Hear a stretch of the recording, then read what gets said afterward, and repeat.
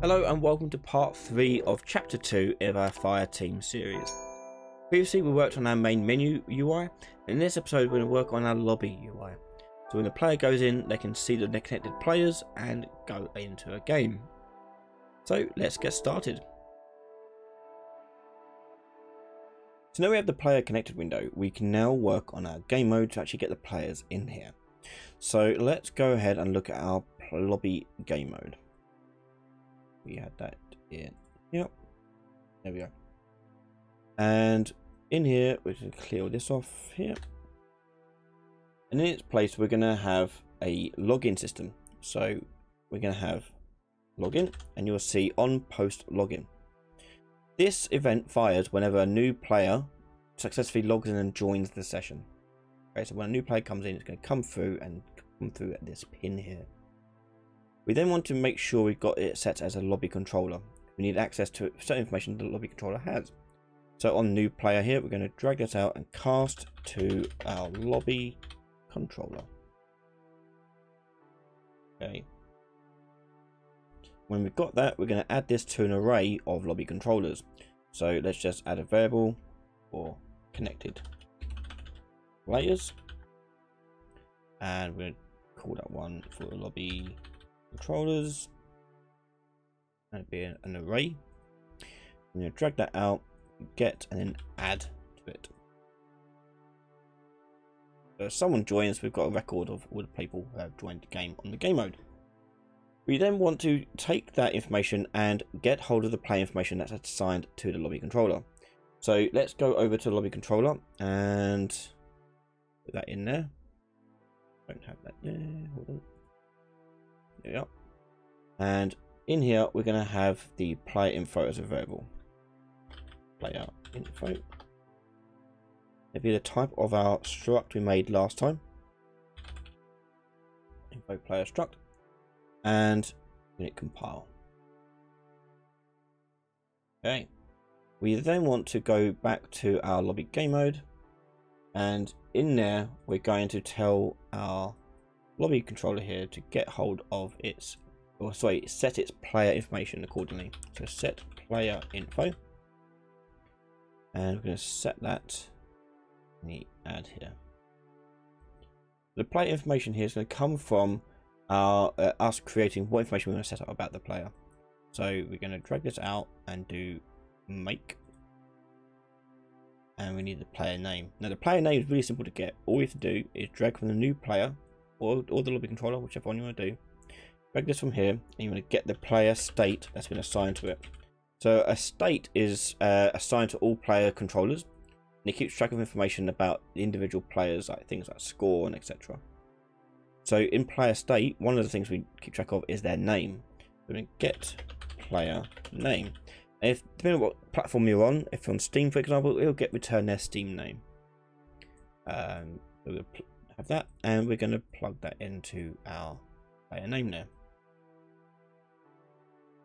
Okay, right. Next, we are going to um, mm, to the right of this um, we're going to add this to another array of player informations. So we can make another variable for player connected player info. And that's going to be an array of f player infos. In and do add.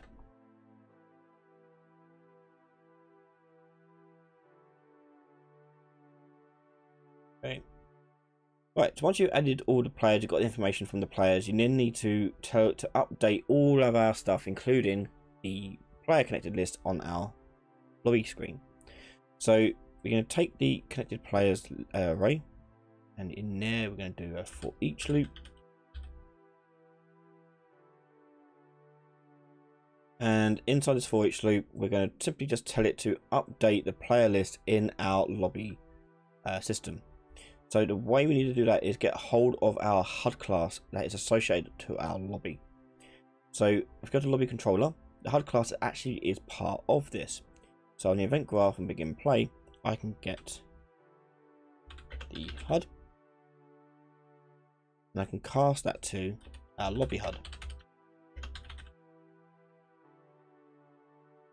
And part of that HUD is I want to return the connected players information from there. So I can update the player list um, as I see fit. So let's go into our um, uh, we want to go into the lobby HUD class. That's what for. Lobby. Okay. And on the event graph in here, we're going to go on template and we're going to do create widget.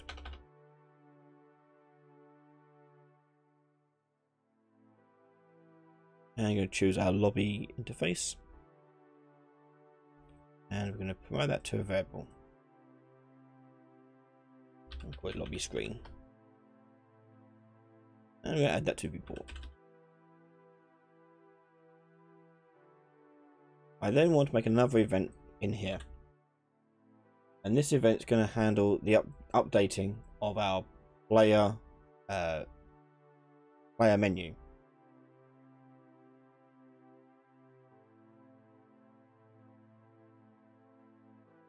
I'm going to go back to our lobby controller and take the as lobby HUD here promote to available. So we've got the lobby HUD class.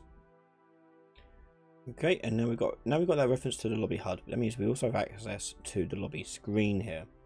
So I either want to make oh, my lobby screen to, to have a function to update and re refresh the player connected list. So let's go into our lobby menu interface, and we're going to go to graph here and create a custom event to update player list. And this is going to ask for the connected players information. So I need to have inputs here for connected players. And that is going to be F player info array. And and this array here we're going to have to pass through into our sub widget for the players connected uh, on the lobby play screen.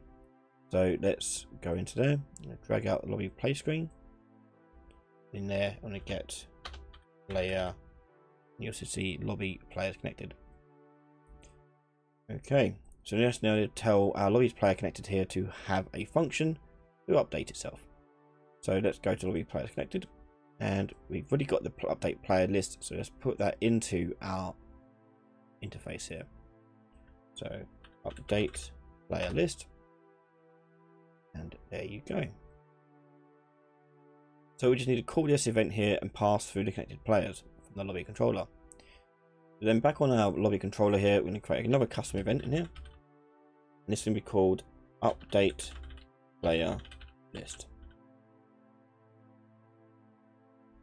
And this is going to take an input as well for the connected, uh, the connected player info. And oh, whoops, put it in the wrong place. There we go. Connected player info. And that'll be the F player info set to as an array. Okay, so we're going to promote that to a on here. There we go. And then we're going to tell our lobby menu to update. So if I drag out my lobby HUD, then from there, I'm going to do lobby screen. And our lobby screen is our lobby menu interface here. And I've got this function to update player list. Let's call that on our controller here. Update player list. You can see now you can plug in the player information across. That's going to call this over on our menu interface. Oh, that now clear that issue um, menu interface and it will then go through and update the players connected list that information. So let's go back now to our game mode and on the game mode here we're going to tell our for each loop to simply go and drag out from here to update player list and this is going to require the array Yeah. Okay, so when we finish with that, we can then test all of this out. Make sure you save everything, and then we'll go and push play. go to the host match and join the lobby. Now you notice here the player connected list is still empty. It should at least show me. And the reason why it's not showing me is because there's going to be an error. And we've got some errors here, just uh, as I suspected. So when you access none on the lobby HUD, what that means is if we go to the uh, lobby controller here, this event begin play is what's setting the lobby HUD here. But our update playlist is needing the update uh, the lobby HUD. This is happening before this has, has a chance to fire. So what we need to do is delay this bit happening for a little bit. So we're going to go into update playlist. A little delay in here. 0.2 will be just fine. Let's now test it out. Wait. This match. And you can see my desktop name has now appeared in the list. Overlaps a little bit, but that's fine. That's something we can tweak and adjust as we later on. But main thing is, is we've got our player here ready to go. And then any other player that joins the session, they will also rock up with their own player connected list here. So to demonstrate this working, if I go into my uh, uh, systems for our main game instance here, and I'm going to turn on use LAN for now. Please. And we're going to go back to our game here, and we're going to do launching two players, players listen server and we do new editor windows. Okay, so I've got two editor windows here. We've got the server view and we also got a client view. We go to the server view, hit host match. Should see that come up there, but why has it done that again? Damn bug.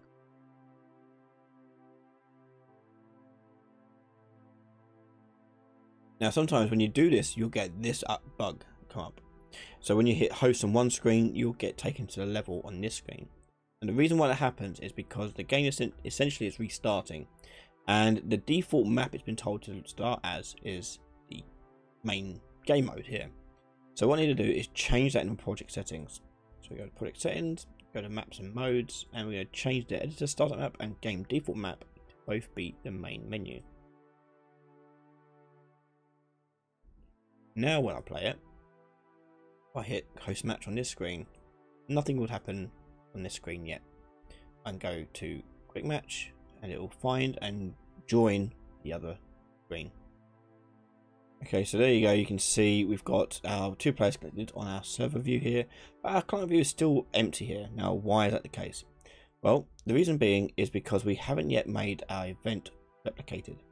So let's go into our menus lobby controller and go into update playlist we want all of our players to update their playlist, not just the host. So I'm going to click on this and change that to uh, run on owning client. The server has access to all of the controllers, where the clients only have access to their own one. So in here we want to replicate this to all the owning clients to reflect that. Now if I push play, go host match, join there, and I'll go to quick match wait for it to connect. And when it does, I should see both our screens now reflect two names. Okay, and same we go for three, four, five, whatever players you want. You also see them all date. And that brings us to the end of this part. We've now got a player list appearing on our screen for both the server and the clients, allowing us to see who has joined our session. In the next episode, we're going to go through the process of creating the mode selection tool, allowing you to switch between different game modes via a simple button click. You can watch the next episode right now over on patreon.com forward slash Ryan Laley. You can watch all my parts early before everyone else from just $1 a month. Thank you to all my patrons and YouTube members for the continued support. Make sure you're subscribed and I'll see you all next time. Bye everyone. I'm ready to play now. Put me in the game came here to prove it. I'm ready to do it. I can't be afraid now. Put me on the stage now. I'm ready to rage now. I feel like an animal stuck in a cage and I'm ready to break out. My time, my time. None of you people can tell me to stop. This time, like the last time, you better get ready